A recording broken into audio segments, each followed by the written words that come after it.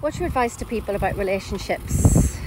What makes a good relationship? Well, first of all, when you go on a, on a bike ride together, you should wear helmets not like us. that's the first thing. Secondly, listen.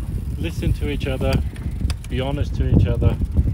Um, compliment each other. Support each other. Whatever the other person wants to do, to support, to to be, you know, have a have the same dream. You need to sit down and, and vision. Sit down and discuss where do you want to go in life, where do you want to be, what do you want to do, and if it doesn't match up, or if there's too too big of a discrepancies, then obviously you're there's something wrong. Let's put it that way. Not necessarily not the right partner, but yeah, I need to work on that. Um, but if you have the same vision and you, you have the same dream, it's much easier to, to get through life. It doesn't matter what life throws at you, if you know bad